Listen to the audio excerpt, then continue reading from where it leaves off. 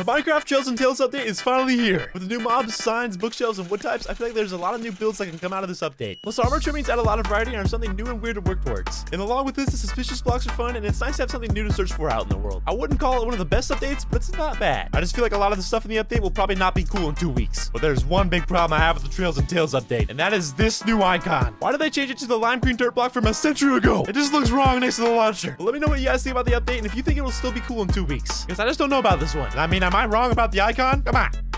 It's booty.